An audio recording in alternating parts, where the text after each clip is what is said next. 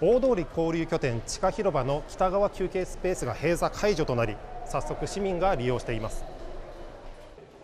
およそ2ヶ月ぶりに利用が再開された大通駅の地下広場の北側休憩スペース。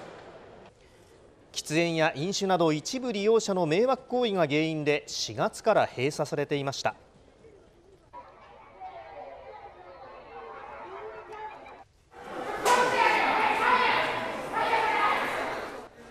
北側のスペースでは酒に酔った男がナタを持って暴れる事件も。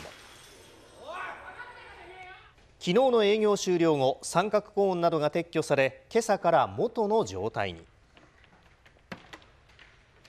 駅員や警備員が対応した迷惑行為の数が今月は1日に1件程度にまで減少したこともあり市は再開に踏み切りました。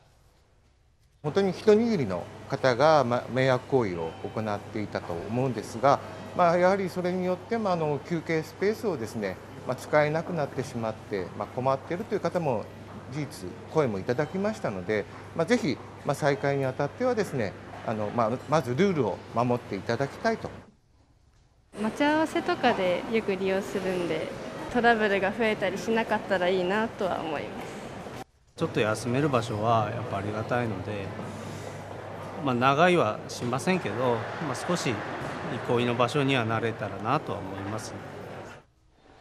警備員の配置は継続する一方長時間の利用が多いと想定されている南側は再開しても飲酒などの迷惑行為の発生が懸念されることからテーブルや椅子などは近く撤去される予定です。